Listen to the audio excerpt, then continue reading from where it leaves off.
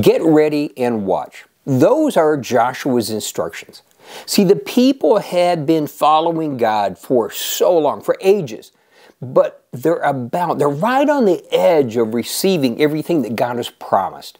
They're right on the boundary of their hopes, their dreams, their desires, and more importantly, seeing God do the incredible. But there's an obstacle, there's a boundary in front of them, and that's the River Jordan.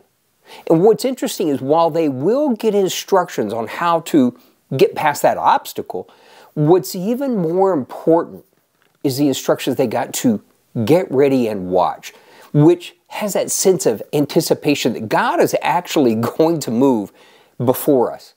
And in fact, Joshua goes on and says, and be prepared to follow closely behind because you've never been this way before. It's so important in that new blessing, in the receiving the promised land, that breakthrough, that it's not just a trusting God, but it's actually following close behind because He's taking us to a place we've never been before.